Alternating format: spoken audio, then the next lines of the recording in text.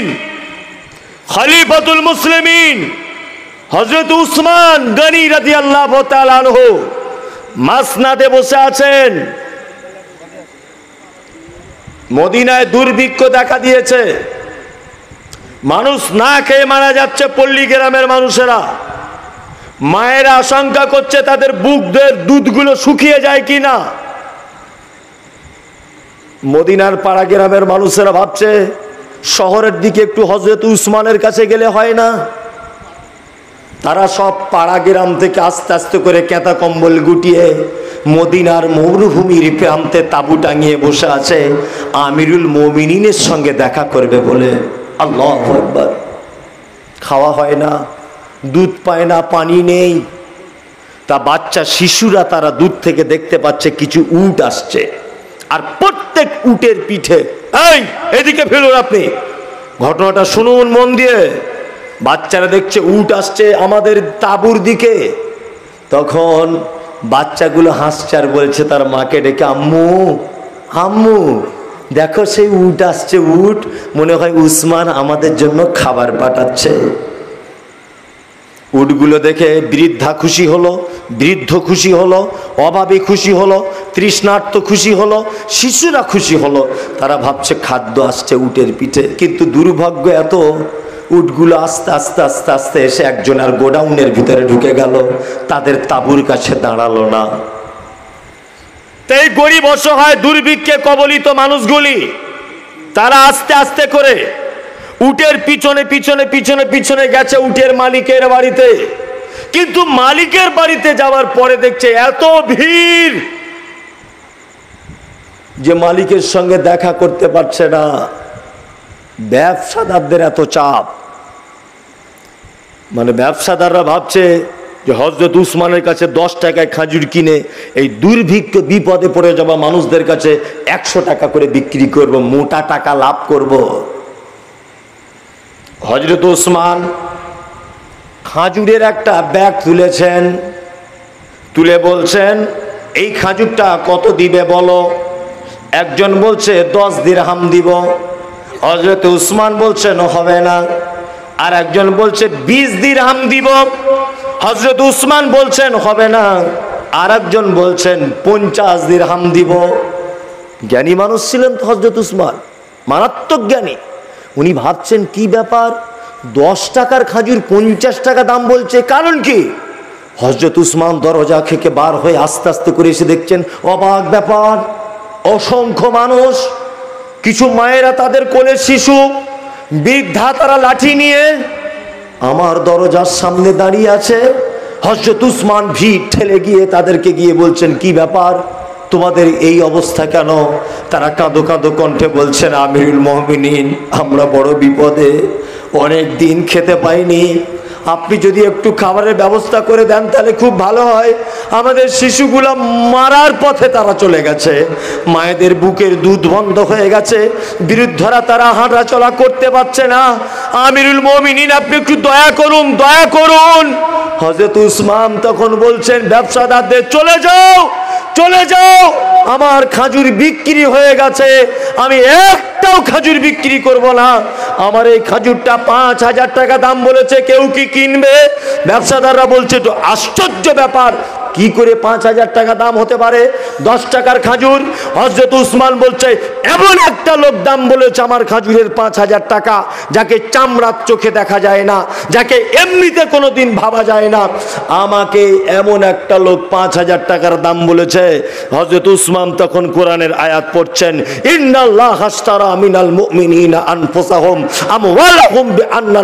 জান্নাত। আল্লাহর কোরআন বলেছে, মোমেন, তোমার জান এবং তোমার মালকে আমি কিনে নিয়েছি জান্নাতের বিনিময়ে। হজরত উসমান বলছেন, আমার তেষট্টিটা উটের পিঠে যত মাল এসেছে, সমস্ত মাল আমি দুর্ভিক্ষের কবলে মানুষে পড়ে যাবা। এদের সামনে আমি বিলবন্ঠন করে দিলাম। এর নাম হজরতে উসমান। এক টাকাও বিক্রি করলেন না। এর নাম নেতা। এর নাম নেতা। নিজের মাল গরিবদেরকে বিলি করে দিয়েছেন। বর্তমান তুমি যে নেতার সার্টিফিকেট দিচ্ছ বরিয়াল চকির মানুষ শোনো। তুমি তোমার নেতা সম্পর্কে বলছো, আমার নেতার চরিত্র ফুলের মতো পবিত্র। এই, বিয়াদব কোথাকারে? তোমার নেতা সকালবেলা এক রকমের কথা বলে, বিকালে আর এক রকমের কথা বলে, তোমার নেতা ইন্দিরা বাসনের টাকা মেরে খায়, তোমার নেতা একশো দিনের টাকা মেরে খায়, তোমার নেতা গরিব মানুষের নামে জব কাটে টাকা মেরে খায়। এটা তোমার নেতার চরিত্র। গরিব মানুষের ইন্দিরা বাসনের ঘর এসেছে, ওর ঘরে গিয়ে বলছে, যদি দশ হাজার টাকা না দিবি, তোর ঘর কেটে ফটিককে দিয়ে দেবো। তোমার বাপের টাকা জমা করা আছে তোমার কাছে?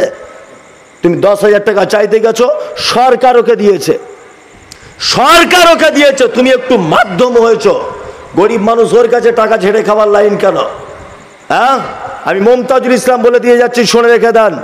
শুধু আমার গাড়িটা ভেঙে দেবেন না, আমাকে দুই চার বাড়ি মারলে মারতে পারবেন। অসুবিধা নেই। বর্তমানে যদি জাহান নামে যদি যেতে চান, বর্তমানে কোনো মানুষ যদি ভাবে যে আমার খুব ঢং লেগেছে, একটু জাহান নামে যাব। আমি মমতাজুল ইসলাম আপনাকে বলে দিয়ে যাচ্ছি, কালকে থেকে রাজনীতির ছত্র ছায়াতে আসুন। আপনার জন্য জাহান নাম যথেষ্ট।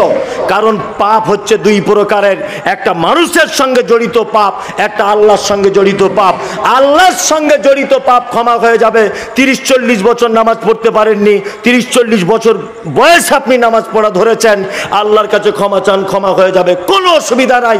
কিন্তু মানুষের সঙ্গে জড়িত পাপ যদি আপনার হয়ে যায়, এই পাপ জীবনে কোনোদিন ক্ষমা নেই। বিশ্বনবী মোহাম্মদ সাল্লাম বলেছেন, কিয়ামতের মাঠে ওই লোকের থেকে গরিব আর কেউ হবে না। সাহাবিরা বলছে, কারা আল্লাহর নবী? যে লোকটা কিয়ামতের মাঠে গরিব হবে। বিশ্বনবী বলেছেন, ওই শক্তিশালী লোক যাকে আল্লাহ শক্তি দিয়েছিল, দুর্বল মানুষকে এক ঘুষি মেরে দিয়েছে। কিয়ামতের মাঠে মারার কারণে ওর নেকিকে কমিয়ে দিয়ে, ওর গুণাকে এর ঘাড়ে চাপিয়ে দেওয়া হবে। যে লাঠি পাটি পঞ্চায়েতের ক্ষমতা ছিল, রাজনৈতিক দাপট ছিল, টাকা পয়সা জোর করে গরিব মানুষের কাছে লুটে নিয়েছে, ওর গোনাগুলোকে এর পাল্লাতে তুলে দিয়ে, এর নেকিগুলোকে ওর পাল্লাতে তুলে দেওয়া হবে। বিনিময়ে এমন পর্যায়ে এসে যাবে যে তার একটা বার নেকি থাকবে না, এ শূন্য হয়ে যাবে। কি বলছেন আপনি? কোন নেতার চরিত্রের সার্টিফিকেট দেন? কাদের পিছনে ঘুরছেন? কাদের পিছনে ঘুরছেন আপনি? যাদের পিছনে ঘুরতেন এরা তো মিনিটে মিনিটে মিথ্যা কথা বলে। ভোটের আগে মাইকের ফোন নিয়ে ভোট প্রচার করতেছে বলছে, মামু, টেনশন করিও না। এইবারে একবার ভোটটা দিয়ে দেখো, রাস্তা এমন করে দিব, হেলিকপ্টার চলবে। ভোট পেয়ে গেল, মামুকে আর দেখা পাওয়া যায় না। ফোন করলে আর ধরে না। কি বলছি, বুঝতে পারছেন না? ফোন করলে আর কি? ধরে না। এত ব্যস্ত হয়ে গেছে। এটা আপনার নেতার চরিত্র। হজরত উসমানের চরিত্র দেখেছেন তো? খলিফা আমিরুল মমিনিন নিজের মাল বিলি করছেন। আর আমাদের কালকে আন্ডার প্যান্ট পরে ঘুরতো। আজকে পঞ্চায়েত ভোটে জিতেছে, বুলেট গাড়ি চেপে ঘুরছে।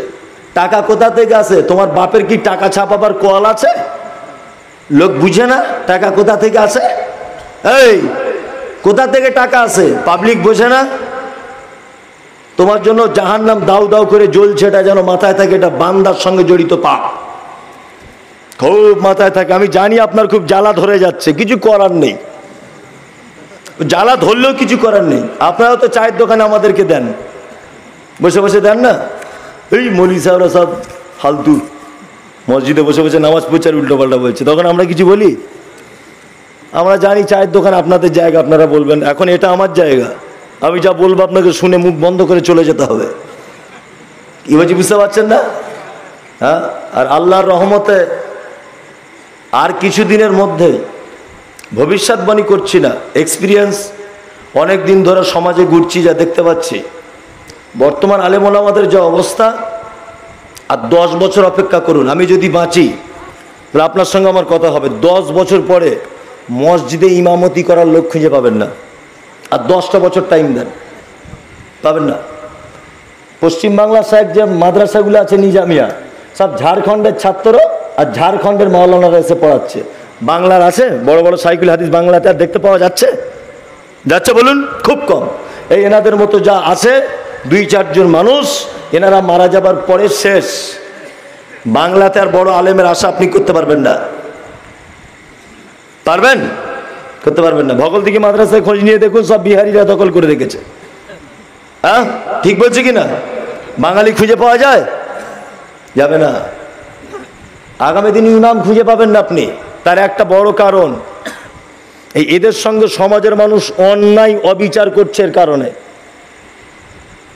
ইমাম, মোয়াজ্জেন, মৌলভী সাহেবদের উপরে যা অন্যায় অত্যাচার হচ্ছে, এই কারণে মানুষ ইমামতি থেকে দূরে চলে আসছে। আমার একটা ছেলে আছে, আমার যে গাড়িটা চালিয়ে আনছে ড্রাইভার ও একজন আলেম, মনিরুল ইসলাম। ভালো আলেমও। এখন আমার গাড়ি চালায়। আমার সঙ্গে থাকে। তা মসজিদ ইমামতি করতে এদিকে কোথায়? তোকে বললাম, ইমামতি ছেড়ে দিলে কেন? যে ভাই, এমন অবস্থা। বাড়ি বইয়ের সাথে ঝগড়া হচ্ছে, আমাকে সে গরম দিয়ে কথা বলছে। কি বলছি, বুঝতে পারছেন না? এই যে এই যে এই যে ছেলেটা দেখতে পাচ্ছেন তো? বহুত দূরে বাড়ি, এখান থেকে পঞ্চাশ কিলোমিটার দূরে, এই যে ছেলেটা। আজকে আমাকে বলছিল যে, মৌলানা মসজিদ ছেড়ে দিয়েছি, ধিৎকারে আর টিকতে পারলাম না। ধিৎকারে টিকতে পারলাম না। ও এসেছে সে জঙ্গিপুরের ওদিক থেকে আরও দু লালগোলা। ও ক্যামেরা করতে এসেছে লালগোলা থেকে। আর ওরা এসেছে যে ধুলিয়ান, ফারাক্কার ওখান থেকে। আপনারা ওদেরকে উল্টো পাল্টা কেন বলছেন?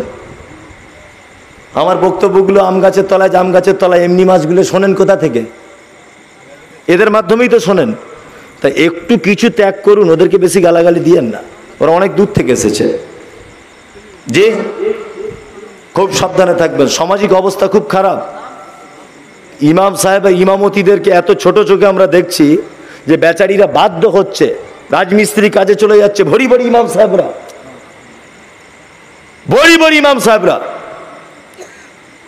বেতন দেয় তো মাত্র চার হাজার, পাঁচ হাজার। এত বড় বড় কথা বলে টিকা যায় না। আমি জীবনে নিয়ত করেই নিয়েছি যে ওই কাজে যাব না যদি কোনো দিন যাই, তা কাঁচা এরকম সাইজের কুঞ্চি কেটে নিয়ে ইমামতিতে ঢুকবো। এটা আমার নিয়ত আছে, যত লাট সাহেবের বাটাই হোক। দুবারই লাগিয়ে দিব, তাতে আমি দুবারই খাই খাব। ওই কেসিয়ারি গিরি আর কমিটি ছুটিয়ে দিব। সব মসজিদে অত্যাচার চলছে। ডাইরেক্ট না হলে বেতনে অত্যাচার। আর শুধু বলছে, আপনাদের টাকায় বরকত আছে তো? খুব বরকত। আমি একটা হুগলিতে একটা মসজিদে তারাবি পড়িয়েছিলাম একবার। একটা মাস্টার মাসে আছে, বুঝলেন? আমাকে বলছে মলিসা আপনার দাড়িগুলো খুব ছোট ছোট। তখন একটু স্টাইল দিয়ে রাখতাম, অল্প বয়স, বুঝলেন না? যেটা সত্যি বলছি। এখন ইদানিং আর কাটি না, চাচি না, কিছু করি না, আগে করেছি তা শুধু লোকের সামনে আমার অপমান করে যে আপনি দাড়ি কেন কাটেন? বেতন আমার আঠেরোশো টাকা। তা একদিন চায়ের দোকানে বসে আছি তো আমাকে বলছে, আপনি দাড়ি কেন কাটেন হুজুর? তাই বললাম, যেমন বেতন তেমন দাড়ি। আঠেরোশো টাকা বেতন দিয়ে কি এত বড় দাড়ি নিবে নাকি? যেমন বেতন তেমন দাড়ি রেখেছি, বেতন বাড়াও, দাড়ি বাড়বে। দাড়ি বাড়লে তো তেল দিতে হবে, তেলের টাকা বাড়াও। তা ওর বেটা চাকরির জন্য পরীক্ষা দিয়েছে, তো আমাকে এসে পাঁচশো টাকা দিয়ে বলছে, হুজুর, আমার বেটার জন্য একটু দোয়া করে দেবেন না চাকরিটা হয়ে যায়। তা আমি ওর মুখের উপরে বলে দিয়েছি যে, আল্লাহ, চাকরি যেন হয়ে যায়, অসুবিধা নেই, বেতন যেন আমার মতো হয়। তখন মাস্টার বলছে, এই দুয়াটা কেমন হলো? আচ্ছা কেন?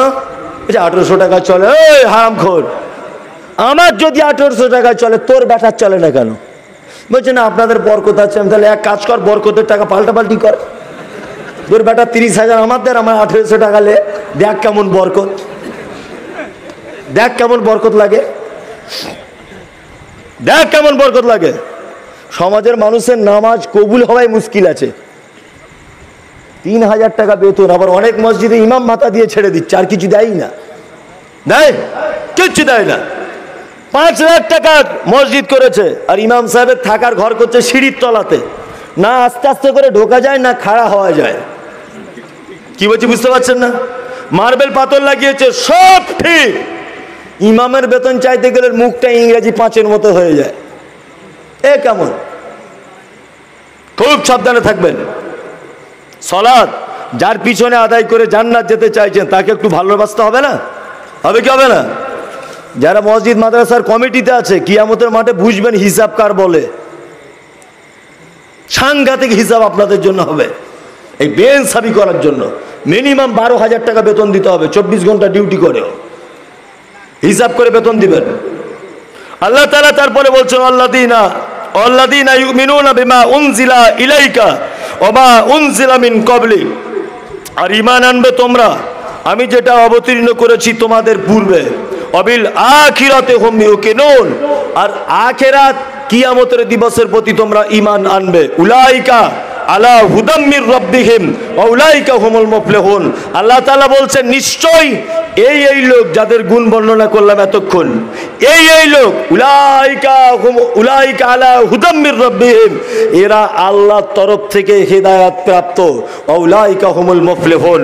আর এরাই কল্যাণের মধ্যে, এরাই সফলতার মধ্যে। কি বলছি, বুঝতে পারছেন? আমাকে ক্ষমা করুন, মাফ করুন। আমি বক্তব্য ছেড়ে দিচ্ছি। আর আমি বক্তব্য দিতে পারছি না। মারাত্মকভাবে অসুখ আক্রান্ত। তাছাড়া আমি অবশ্যই আপনাদের আশা পূর্ণ করতে পারতাম। চাহিদা থাকার পরেও আমি হয়তো দিতে পারছি না। আচ্ছা ওই আমার পরে ও দিবে? ওই ঘোষণা করে দিবে। আল্লাহ ভাকবর অনেক দান দিয়েছে তো। একজনে পঞ্চাশ হাজার দিয়েছে। কি? কালাম উদ্দিন মল্লিক। পঞ্চাশ হাজার। আল্লাহ ভাকবর আইন উদ্দিন মল্লিক। না না এখানে লেখা আছে কামাল। কি এটা? কালাম উদ্দিন মল্লিক। কলিম উদ্দিন আচ্ছা আচ্ছা কলিম উদ্দিন মল্লিক পঞ্চাশ হাজার টাকা দিয়েছে। আল্লাহ ভকবর তবে এটা একটা খুব বড় জিনিস বড় ভালো লাগল। দানের জন্য জি একটু বড় ভালো লাগল। শুনছি নাকি আপনাদের এখানে একটা মহিলা মাদ্রাসা হবে? হ্যাঁ? একশো একশো পার্সেন্ট সাপোর্ট থাকল। যদি প্রচারের দরকার হয় প্রচারও করে দেবো। মহিলা মাদ্রাসা সমাজ এমার্জেন্সি দরকার। সমাজে যত এত বদমাইশি রাহাজানি খুন, ধর্ষণ, যা কিছু হচ্ছে তার একটা কারণ, সমাজে ভালো মায়ের অভাব। কি বলছি, বুঝতে পারছেন? ভালো মায়ের অভাব। গাই ভালো, তার বাছুর ভালো, মা ভালো, তার ঝি। এই বাপ ভালো, তার বেটা ভালো, মা ভালো, তার ঝি। গাই ভালো, তার বাছুর ভালো, দুধ ভালো, তার ঘি। একটা কথা আছে না? বাপ যেমন হবে, বেটা তেমন হওয়ার সম্ভাবনা আছে। বেটি যেমন হবে, মা যেমন হবে, বেটি তেমন হওয়ার সম্ভাবনা আছে। ঠিক তেমন। ভালো মায়ের খুব অভাব। বিনীত অনুরোধ মহিলা মাদ্রাসা করুন। করুন আমার তরফ থেকে সমস্ত রকমভাবে সাপোর্ট করব। আমার নিজের মহিলা মাদ্রাসা আছে। আর আপনাদের মাদ্রাসা হওয়ার আগ পর্যন্ত যদি কোনো মেয়ে মাদ্রাসায় যদি ভর্তি করতে চান, এখানে আমার মইনুল ভাই আছেন, ডাক্তার? আছেন মইনুল ভাই কই? আছেন? চলে গেছেন? আচ্ছা করমজির আছে। করমজির মইনুল মেঘেদি ওই তো মইনুল মেঘেদি এদের সঙ্গে যোগাযোগ করবেন। ওদের ওখানকার অনেক মেয়ে পড়ে, ওরা ঠিক পাঠিয়ে দেবে। আমার মাদ্রাসায় পাঠাবেন। এতিম যদি কেউ হয়, সম্পূর্ণ ফ্রি। এতিমকে যে ভর্তি করতে যাবে, তার যাতায়াত খরচা ফ্রি। এতিম যদি বিয়ে পর্যন্ত থাকে, তার বিয়েতে পাঁচ লাখ টাকা যদি খরচা হয়, আমি মমতাজুল ইসলাম বহন করব জাতির সামনে, এটা বলে গেলাম। ডাক্তার খরচ ফ্রি, জামা কাপড় ফ্রি, খাওয়া দাওয়া ফ্রি, থাকা বইপত্র যা কিছু সব ফ্রি। যদি বিয়ে পর্যন্ত কোনো এতিম যদি থাকে, বিয়ে হতে দু বছর বাকি আছে, তার আব্বা নেই, অবশ্যই আমার মাদ্রাসায় পাঠান, তার বিয়ে শাদি গয়নাগাটি, যা যেটা প্রয়োজন, ইনশাল্লাহ আমি নিজে বহন করব, ইনশাল্লাহ। আমার জন্য দোয়া করবেন। খাস করে দোয়া করবেন। আমি যা হোক এসব কথা বলব না। জলসা করছি, যা কিছু করছি। সময় হিসাব সবাই আমার মাদ্রাসা থেকে ঘুরে এসেছে। সোশ্যাল মিডিয়া তো দেখছেন। লিল্লা কিয়াত আল্লাহর উদ্দেশ্যে মাদ্রাসাতি অর্থ ব্যয় করছি। আমার খুব স্বপ্ন আছে উপর বাংলার যেমন রাজ্জাক বিন ইউসুফ সাহেব বিশাল প্রতিষ্ঠান করেছেন, আমার জন্য দোয়া করবেন, আমি স্বপ্ন দেখতে শুরু করেছি। সারা পশ্চিম বাংলাতে উল্লেখযোগ্য একটা প্রতিষ্ঠান করবই ইনশাল্লাহ। দোয়া করবেন। আগামী বছরে ছেলেদের প্রতিষ্ঠানের কাজ শুরু করব ইনশাল্লাহ। ছেলেদের প্রতিষ্ঠানের কাজ। ইনশাল্লাহ এক হাজার ছাত্র পড়বে এই রকম স্বপ্ন দেখছি। সারা পশ্চিম বাংলার মধ্যে উল্লেখযোগ্য মাদ্রাসা করব। তাতে যদি জাতির কাছে ভিক্ষা করতে হয় তবু আমি প্রস্তুত আছি।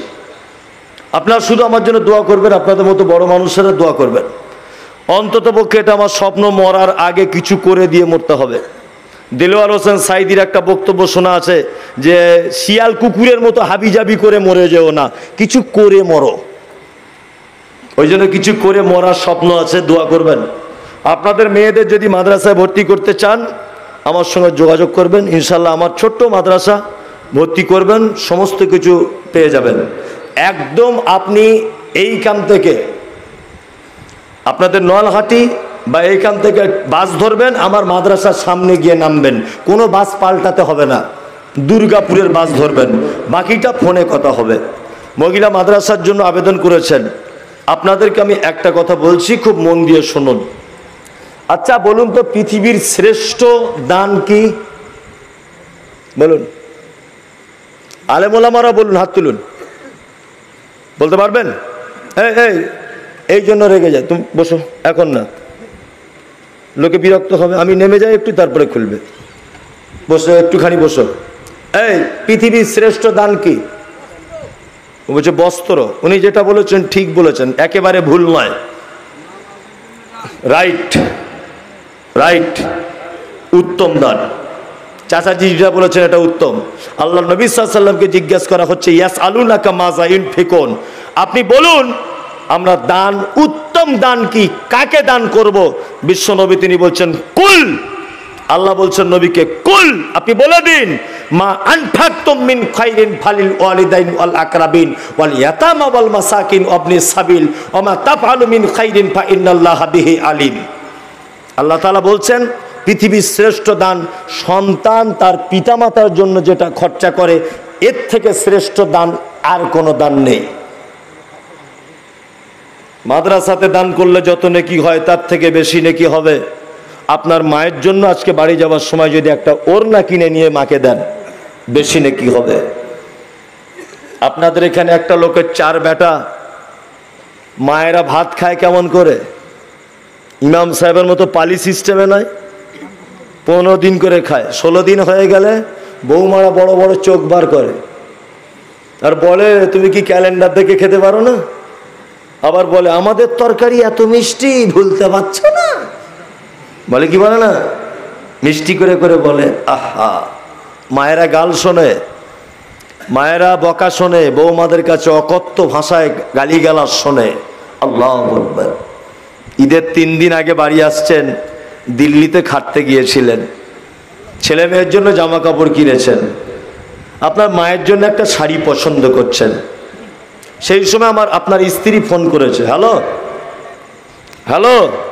বলছে, কি? বলছে, কি কোথায় আছো? বলছে, না, তোমার জন্য শাড়ি কিনছিলাম আর মায়ের জন্য একটা কিনছি। এর বউ তখন বিরল চৌকি থেকে বলছে, তুমি কি তোমার মায়ের একটাই বেটা? প্রতি বছরে তোমাকেই শাড়ি কিনতে হবে? মায়ের শাড়ি কিনতে হবে না, বাড়ি চলে এসো। ও বইয়ের কথা শুনে থরথর করে কাঁপতে কাঁপতে ঘর চলে এসেছে। চার ভাই একই কেস, বাড়ি চলে এলো। ঈদের দিনের সন্ধ্যাবেলা পর্যন্ত আপনার মা একটা নতুন শাড়ি পরতে পেল না। আপনার আব্বা নতুন লুঙ্গি পরতে পেল না। সত্যি আপনার মা তো পালা সিস্টেমেই ভাত খাবে। আপনার মা তো নতুন শাড়ি পাবে না, কারণ আপনার মা তো পৃথিবীর সব থেকে বড় অপরাধী। সব থেকে বড় অপরাধী আপনার মা। আপনার মায়ের থেকে বদমাইশ আপনার মায়ের থেকে খারাপ, আপনার মায়ের থেকে খারাপ ব্যবহার পৃথিবীর আর কেউ আপনার সঙ্গে করেনি। আপনার মায়ের সব থেকে ভালো খারাপ দিক কোনটা? না, আপনাকে পৃথিবীর আলো দেখাতে গিয়ে পরপুরুষের সামনে আপনার মাকে উলঙ্গ হতে হয়েছিল। এটা আপনার জীবনের সব থেকে বড় অপরাধ। আপনার মা জীবনে পর পুরুষের সামনে কখনো মুখ দেখাতো না। কিন্তু আপনাকে জন্ম দিতে গিয়ে ডাক্তারবাবুরা বলেছিল, নর্মালে বাচ্চা হবে না, সিজারে হবে। তোমার মাকে পুরুষ ডাক্তারেরা হসপিটালের বেডে উলঙ্গ করেছিল। তোমার মা লজ্জা করার পরেও কিছু করার ছিল না, শুধু তোমাকে পৃথিবীতে আনার জন্যে। তোমার মা মানে তোমার মা মানে হলো তোমার মায়ের মাথার কালো কুচকুচে হাঁটু পর্যন্ত দোলানো চুল। পাড়ার মেয়েরা তোমার মায়ের চুল দেখতে আসতো। কিন্তু তোমাকে জন্ম দিতে গিয়ে তোমার মায়ের কালো চুলগুলো লাল রক্তে জমাট বেঁধে গিয়েছিল। এর নাম তোমার মা। তোমার মা মানে তোমার মায়ের বয়স তখন তিরিশ বছর বা পঁচিশ বছর। তোমার মা চরমা অপরূপা কুমারী সুন্দরী। তোমার মায়া একবার এই রকম ভাবে বাড়ি দিলে রক্ত জমে যায়, তোমার মা এত ফর্সা। কিন্তু ডাক্তার বাবুরা বলেছিল, নরমালে বাচ্চা হবে না, সিজার করতে হবে। ধারালো কাঁচি দিয়ে তোমাকে পৃথিবীতে আসার জন্য তার পেট চিড়ে দেওয়া হয়েছিল। এটা তোমার মায়ের তৃতীয় বড় অপরাধ। তোমার মা ঈদের দিনে শাড়ি পেল না কেন? না তোমার মায়ের চার নম্বরের অপরাধ হলো এটা? চিকিৎসা বিজ্ঞানীরা বলেছে, একটা শিশু তার মায়ের দিনে আটবার দুধ পান করে, এক একবারে আড়াইশো গ্রাম দুধ পান করে, কোরআনের ভাষা তিরিশ মাস দুধ পান করে। তোমার মা তোমাকে তিরিশ মাসে দুধ পান করিয়েছে এক হাজার আটশো কেজি। এটা তোমার মায়ের চার নম্বরের বড় অপরাধ। যদি পঞ্চাশ টাকা কেজি যদি দুধের হয়, নব্বই হাজার টাকা দুধ পান করিয়েছে তোমার মা শুধু তোমাকে। তোমার মায়ের অপরাধ কি? তোমার মায়ের অপরাধ, তোমার মা তোমাকে নিয়ে তোমার নানির বাড়ি যাচ্ছিল মালদাতে। খুব ভালো তোমার মা। বাসে উঠেছে সিট পাইনি এখন মাসের কন্ট্রাক্টর তুমি করেছিলে তোমার বয়স তখন বারো মাস, তেরো মাস। কোন রকম কথা বলতে শিখেছ? বাসে উঠে থেকেই তুমি তোতলা তোতলা করে বলছো, মা, দুধ খাব, মা, দুধ খাব। তোমার মা তোমাকে পিঠে এরকম আলতো আদরের বাড়ি দিয়ে বলছে, বাবু দানা সিট পাই, বসে তোকে দুধ পান করাবো। তোমার মা সিটে বসেছে, তোমার মায়ের বয়স তখন ২৬ বছর, তোমার মায়ের রূপ কি? বাসের যুবক ছেলেরা তোমার মায়ের দিকে ফ্যাল ফ্যাল করে দেখছে। তোমার মা লজ্জা না করে বেলাউজের বোতাম খুলে দিয়ে বলেছে, আবদুল্লাহ, দুধ খেয়ে নাও বেটা, দুধ খেয়ে নাও। তুমি দুধের মোটাতে মুখ লাগে চুপ চুপ চুপ চুপ চুপ চুপ করে চুষেছ? আর অসভ্য যুবকেরা তোমার মায়ের বুকের দিকে তাকিয়ে আছে। মুসলিম ঘরের মেয়ে একবার এই রকম করে বুকগুলো ঢাকছে, একবার পেটের কাপড় ঠিক করছে, একবার তোমার দুধ মুখে বেশি চলে যাচ্ছে কিনা সেটা দেখছে। তুমি নানির বাড়ি পর্যন্ত যেতে টাইম লাগবে তিন ঘণ্টা। বলুন, মা যদি সেদিন বলতো বাসে মোর লজ্জা করছে। কি করে তোকে দুধ দেব? এত পুরুষ মানুষ কি করে ব্লাউজ খুলব? আমার মনে হয় আপনার মা সেদিন যদি ব্লাউজ না খুলতো, আপনার কচি কণ্ঠ নালিটা আটকে আপনি সেদিন মারা যেতেন, বেঁচে থাকতেন না। নানির বাড়ি পৌঁছে গেলেন। আপনার নানা বিরিয়ানি করেছে, খেতে বসেছে আপনার মা। আপনার কোষ্ঠকাঠিন্যর প্রবলেম ছিল, পায়খানা ঠিকঠাক হতো না, বিরিয়ানি খেতে বসেছে। সেই সময়তে আপনার মায়ের থালার পাশে আপনি ভর ভর করে পায়খানা করে দিয়েছেন। আপনার মা আপনার পায়খানা দেখে বলেছিল, আলহামদুলিল্লাহ আব্বু, তুমি পায়খানা করেছ। তিন দিন ধরে ভাবছি তোমার পায়খানা হয় না। তোমার পায়খানা দেখে যে আলহামদুলিল্লাহ বলে তাকে তুমি পালা সিস্টেমে ভাত খেতে দাও, আবার মসজিদের দায়িত্ব পালন করো। তুমি আবার মসজিদে পাঁচ ওয়াক্ত নামাজ পড়ে জান্নাত যেতে চাইছো। তোমার মা ঈদের দিন একটা শাড়ি পেল না। তোমার আব্বা মানে তোমাকে দামি স্কুলে পড়াবে বলে। তোমার আব্বা দুর্গাপুরে রাজমিস্ত্রি লেবারের কাজে যায়। পঞ্চাশ বছর, ষাট বছর বয়স, হাঁটুতে ব্যথা, কোমরে ব্যথা, মাজাতে ব্যথা, কাঁধে ব্যথা। তারপরেও মশলা মাখিয়ে কাঁধে করে আস্তে আস্তে কাঁপতে কাঁপতে দুতলার উপরে মিস্ত্রিকে মশলার যোগান দেয়। কেন? তোমাকে ঈদের দিনে দামি জিন্স, প্যান্ট কিনে দেবে বলে। তোমার আব্বা মাছ ধরা কাজ করে পুকুরে, পৌষ মাসের হাড় কাঁপানো শীতে, শীতকে উপেক্ষা করে দিয়ে তোমার জিন্স, প্যান্ট কিনে দিবে বলে, তোমার প্রাইভেটের বেতন দেবে বলে কোন কোন শীতে পুকুরে নেমে যায় তোমারই জন্য, তোমার ভবিষ্যৎ উজ্জ্বল করার জন্য।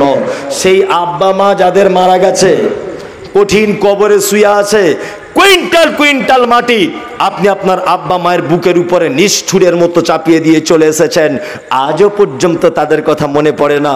দশটা লোক বলুন তো দেখি যে পাঁচ হাজার করে টাকা দেব, আমার আব্বা মায়ের জন্য তাদের রক্ত আমার শরীরে বইছে। একটা লোক বলুন, আমি দশ হাজার টাকা চাইনি। একটা লোক বলুন তো যে আমি পাঁচ হাজার টাকা দেবো আমার আব্বা মায়ের জন্য। কেউ আছেন? হ্যাঁ একজন। ওই এইদিকে একজন, দুইজন। নামগুলো লিখবেন। তিন নম্বরে, আপনি আপনার আব্বা মায়ের জন্য দেন। তিন নম্বর, তিন নম্বরে, এই একজন। ওই যে এই সাইডে। ওরে বাবা, দু একটা তো বেঁচে গেল। আমি ভাবছিলাম মনে হয় পনেরো কুড়ি মিনিট হয়েছে। আল্লাহ দু ঘণ্টা তো হয়েই গেল। তাহলে আসব না বলে ফালতু ওদের টেনশন দিয়ে লাভ কি? হ্যাঁ? জি শুক্রিয়া। তিনজন হলো পাঁচ হাজার করে।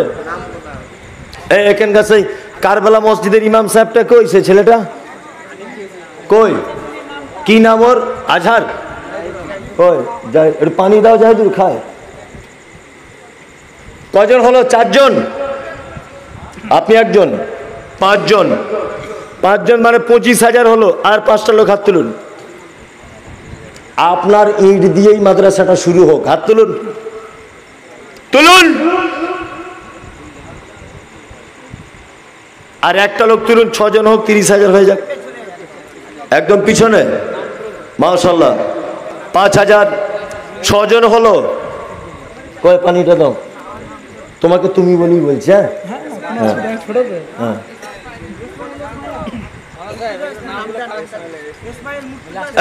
বলছি সবাই মিলে কথা বললেই পালাবো। সবাই মিলে কথা বলবেন না। যারা যারা হাত তুলছেন, আপনারা দয়া করে একটু এই দিক দিয়ে আসুন। আপনি শুধু আসবেন। এই দিক দিয়ে আসুন, আমার সঙ্গে মোসাফা করে যান আর নামটা লিখিয়ে যান। আসুন। এই, যখন মোসাফাটা করবে, ক্যামেরাটা ভালো করে করবে তো। ঠিক আছে? কালকে ইউটিউবে সকালবেলা দিয়ে দেবে। যারা যারা মোসাফা করতে আসছে। সারা পৃথিবীর লোক দেখবে। আসুন, যারা যারা পাঁচ হাজার করে বলেছেন, এখানে আসুন। ছজন হলো। হ্যাঁ? কি নাম? কোন স্কুলের মাস্টার? হাই স্কুলের প্রাইমারি? কঠিন ব্যাপার। শুক্রিয়া। করো ক্যামেরাগুলো। এ- কি নাম? খসবুর আলী। পোকাগুলো এত হিংসা করছে কেন? আমার উপরে মুখে চোখে ঢুকে যাচ্ছে। হ্যাঁ, খসবুর আলী পাঁচ হাজার শুক্রিয়া। এইদিকে ক্যামেরাগুলো ঘোরাও। যান আপনি এবার আপনি আসুন।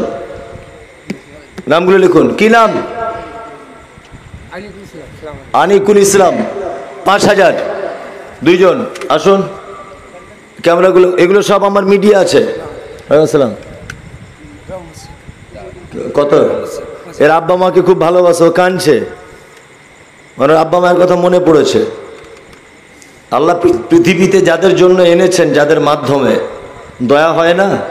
পাঁচটা হাজার টাকা তাদের জন্য মনে পড়ে না? কি নাম? ইসমাইল শেখ। পাঁচ হাজার। আসুন। কজন হচ্ছে গুনবেন? মাস্টার খুব মিষ্টি ছেলে। আপনাকে কিছু বললাম রাগ করেননি তো? না ওটা বোঝানোর জন্য বলিস কি নাম? মাইনুল ইসলাম মাস্টার। খুব ভালো মিষ্টি ছেলে আল্লাহ ওকে হায়াতে তাইবা দান করুক। বলুন আমিন। আচ্ছা কে? ওয়ালাইকুম আসসালাম। কি নাম? আবুল কাসেম শেখ। আবুল কাসেম শেখ পাঁচ হাজার। শুক্রিয়া। কজন হলো এই লিস্টে কজন হলো? আমি এক লাখ টাকা করে দিয়ে চলে যাব। ছজন। আর পাঁচ ছয় তিরিশ হাজার হলো। আমি এক লাখ টাকা তুলবো। তারপরে যাব। মানে নাচতে নেবে ঘোমটা দিলে তো হবে না? তবে এখানকার মানুষগুলো কিন্তু একটা গুণ খুব খারাপ। এরা বাড়ি কেন যাচ্ছে না? হ্যাঁ?